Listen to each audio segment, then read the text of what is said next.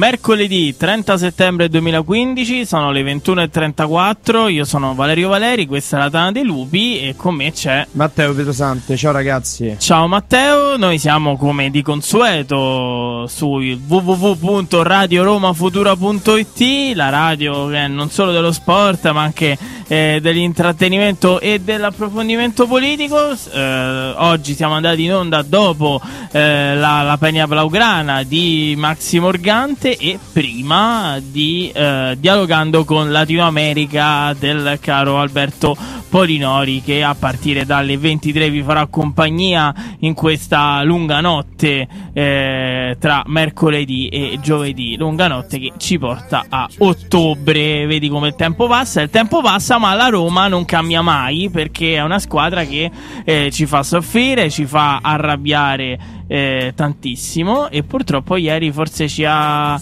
regalato una delle più brutte e amare arrabbiature della sua storia, de- della nostra storia di-, di tifosi perché la Roma nel secondo turno del girone di Champions League è riuscita a perdere 3 a 2 contro il Bate Borisov eh, in trasferta. Eh, questo però non, non, poteva impedire la Roma di, di di mettere in campo la sua superiorità tecnico-tattica.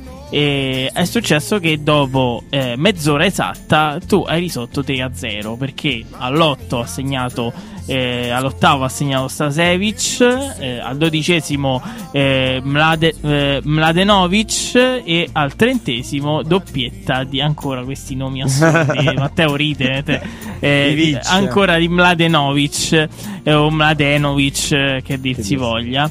E primo tempo da mani nei capelli, molti di noi hanno pensato qui c'è il rischio che finisca in imbarcata, però finché eh, te ne fa 7 il Manchester United o il Bayern Monaco ci puoi anche stare. Il rischio che l'imbarcata la prendi da una squadra bielorussa è proprio, proprio no. Sarebbe stato un trauma troppo grande nel secondo tempo la Roma eh, ha spinto, ha cambiato volto, ha cambiato ritmo, ha messo in campo eh, più fisicità, più intensità, più gioco. È arrivata al gol con Gervigno al 66esimo, ha eh, realizzato poi il 3-2 con Torosidis eh, entrato nel secondo tempo come Iago Falchi all'82esimo purtroppo non è servito a niente. La Roma ha colpito anche una traversa con, con Florenzi eh, ha avuto una grande occasione con Salah che praticamente un, un passo dentro l'area davanti alla porta di sinistro. Il suo piede non ha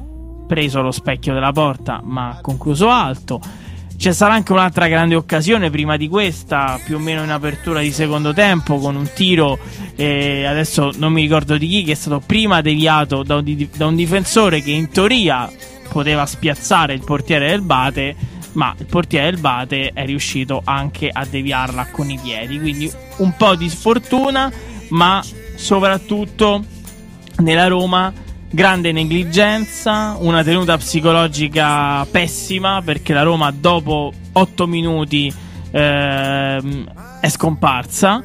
Nonostante un approccio giusto, eh, ci ha tenuto tanto Garzia, anche Pjanic eh, nel post partita ci hanno tenuto a dirlo. La Roma, i primi 5-6 minuti, ha creato anche due occasioni. Peccato che come ho letto eh, insomma su, su, sui social una battuta di Bobo Artefatti che insomma per chi segue la Roma conosce insomma è un disegnatore e un battutista eh, abbastanza appre- apprezzato eh, peccato che poi l'arbitro ne abbia dati 90 di recupero cioè eh, insomma c'è, c'è, una partita che, che, che, tu devi fare approcciare e giocare bene 5-6 minuti non basta se poi dopo per i restanti 25 eh, eh, prendi tre gol. Quindi, insomma, le giustificazioni sono poche. Eh, cosa isolerei delle dichiarazioni del post partita? Il mea colpa di Garzia eh, ha detto ho sbagliato la formazione. Quello che, e quello che ha detto Florenzi. Eh, Florenzi ha detto una frase che ha fatto molto discutere. Eh, abbiamo preparato malissimo la partita. Eh, non ci siamo entrati con la testa giusta. Ora, lui sicuramente si sarà riferito ai giocatori. Però i giocatori la partita non la preparano da soli. I giocatori la partita la preparano perché durante la settimana l'allenatore gli fa tanti discorsi, gli illustra l'avversario, ci sono dei collaboratori perché ormai nel calcio, in questo calcio moderno non c'è solo l'allenatore che fa tutto, ci sono degli analisti, ci sono persone che studiano, che sono pagate per studiare appositamente l'avversario, guardarsi cassette su cassette, ormai non sono più le cassette, sono i DVD su DVD di, di partite dell'avversario, quando ce n'è ovviamente bisogno ci sono dei tattici e ti dicono guardate, il bate è così, è meglio affrontarlo in questa maniera, è meglio non affrontarlo in quest'altra maniera. Se un giocatore come Florenzi, che non è uno stupido, ti dice abbiamo affrontato, abbiamo preparato malissimo la partita e Garzia dice ho sbagliato la formazione, io mi chiedo, ma da quando è finita Roma Carpi a quando sei, hai preso l'aereo per andare a Borisov? Ma che cosa hai fatto? Ma che partita hai preparato? Ha detto bene Leb, centrocampista del Bate, ex Arsenal, che tra l'altro è entrato negli ultimi minuti della, della partita di ieri. La Roma ha commesso l'errore di sottovalutarci.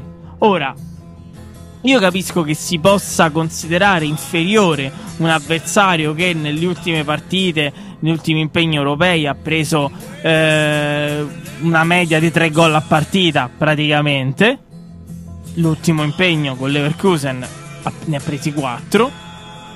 Però tu a livello europeo non devi dare per morto nessuno, nessuno, nessun avversario può essere tanto inferiore a te da, da poter non preparare la partita o scendere in campo con la presunzione tanto prima o poi un gol lo faccio. Perché poi i gol te l'hanno fatti loro, te l'hanno fatti tre, non gli capiterà mai più, però te l'hanno fatti.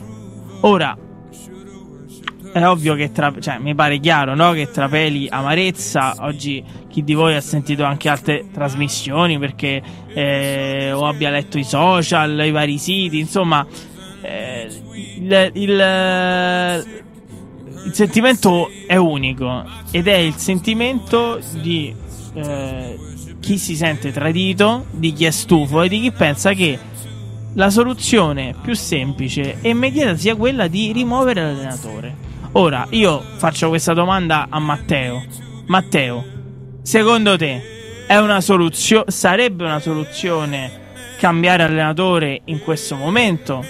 Fermo restando, apro e chiudo parentesi, che non verrà fatto eh, perché sennò l'avrebbero fatto stamattina. E... Oppure il problema è molto più radicato e quindi una soluzione del genere amplierebbe solo il danno? No, guarda, il problema secondo me è abbastanza circoscritto in qualche senso all'allenatore perché per quanto riguarda la, la mentalità te la dà solo lui, insomma. Gli alibi sono finiti, le colpe...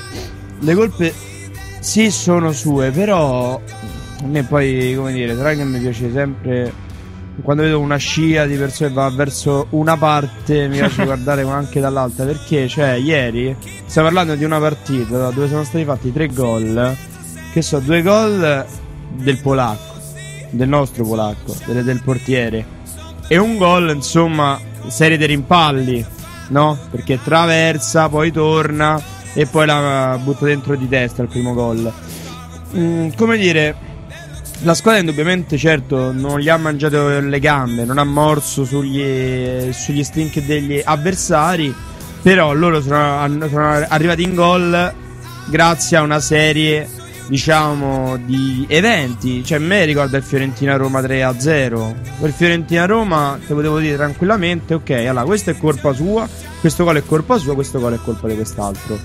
Quindi insomma eh, Garzia ha anche dimostrato che invece contro le grandi squadre le partite le sa preparare. Perché a me fanno tanto ridere quelli che dicono: Vabbè, eh, contro il Barcellona ha giocato come ha giocato Mourinho. Beh, se questa fosse la soluzione, perché non lo fanno tutte le squadre d'Europa quando affrontano il Barcellona al posto di prendere le imbroccate 5-0, 4-0?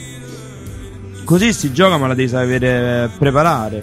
Secondo me Garzia e non i suoi giocatori, ma lui fa lo sbaglio che sottovaluta delle partite e si sente in diritto, diciamo, sente di avere la possibilità di trattarle con superficialità. E quindi questo si riversa pure, come dicevi giustamente tu, su tutti i giocatori, tutti i eh, calciatori. C'è da dire anche un altro fatto, secondo me, che eh, lo, lo, sbaglio suo è stato sì, quando, quando ha messo la formazione in campo. E mi, e mi, si è detto per Iago Falche perché fa anche la fase difensiva. Invece, stare con tre che fanno solo quella offensiva ti sbilancia. D'accordo, ok. Ma altri addirittura, vabbè, ma Toro Sidis perché non l'ha messo dall'inizio? Cioè, questo è paradossale. Se quel poraccio avesse messo Toro Sidis, avesse preso tre gol, le, tutti quanti comincerebbero a dire: Ah, ma Toro Sidis, te pare che lo metti in Champions League al primo minuto? Cioè, c'è anche questo, capito? Che lui, di fatto, la squadra ha preso tre gol che so eventi se non fortuiti, come dire, non propriamente colpa del gioco della Roma, e non propriamente cercati allo sfinimento al Borito che stava assediando l'area giallo-rossa.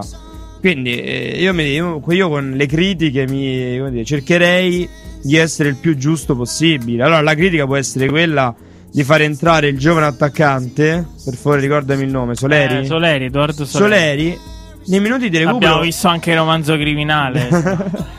Quella, quella, è follia, nel senso che quelle sono partite che io ho visto pareggiare agli ultimi secondi. Le partite di Champions si pareggiano agli ultimi secondi. In un Borussia Dortmund Malaga, il Dortmund vinse, vinse, passò alla fase agli ottavi grazie agli ultimi minuti. E tu gli ultimi minuti li sprechi per far entrare Soleri, che poraccio avrà tutte le occasioni del mondo.